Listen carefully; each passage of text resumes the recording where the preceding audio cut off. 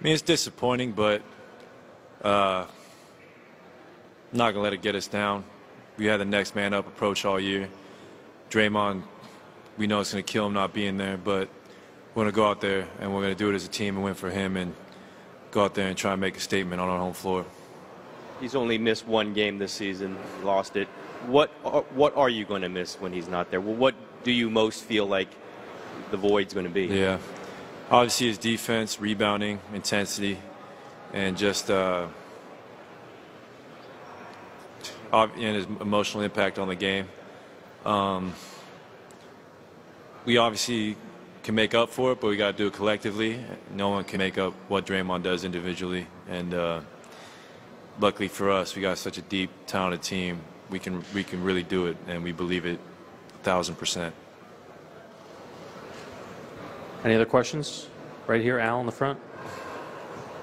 Can you talk about that sequence in Game Four where LeBron and Draymond interacted? Uh, what was your take on what went down there, and uh, you know what, what, were you, what were you seeing on the court? Uh, I mean, I got tangled up.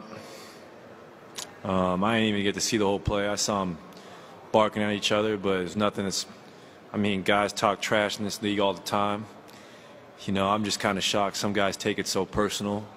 It's like, I mean, you know, it's a man's league, and I've heard a lot of bad things on that court, but at the end of the day, it stays on the court. We're all competitive people. Um, you know, uh,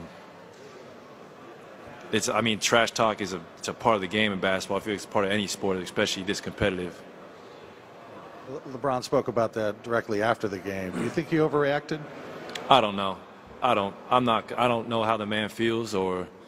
Um, but um, obviously, people have feelings, and people's feelings get hurt, even if they're called a bad word. Um, I guess his feelings just got hurt. I mean, I, we've all been called plenty of bad words on the basketball court before. You know, you, some guys just react to it differently. Uh, all I can say for myself individually, I just try to ignore it or just let it fuel the fire. But I don't carry it with me when when the job is done.